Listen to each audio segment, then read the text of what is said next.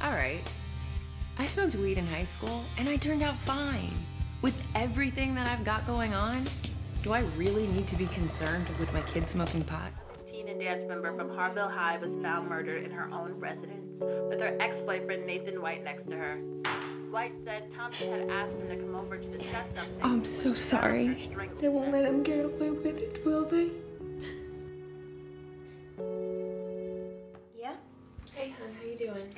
Fine, Mom. Just mm, studying. Well, I'm here if you need me, okay?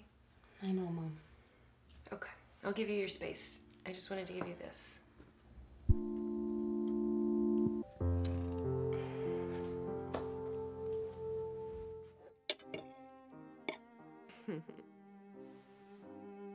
Mom, not again.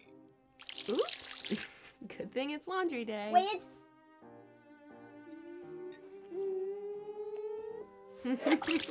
Yes!